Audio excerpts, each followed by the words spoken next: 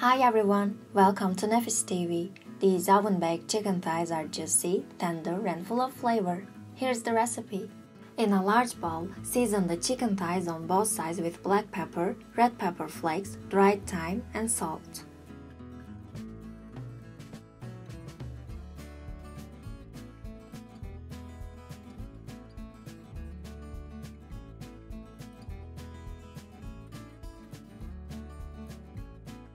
Pass the chicken thighs into an ovenware.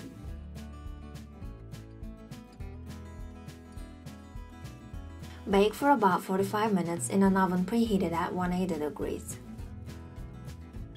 Tender and juicy chicken thighs are ready to serve. Hope you enjoy! If you enjoyed the video, don't forget to hit the like button and subscribe to our channel. Please comment below for further questions. Thanks for watching!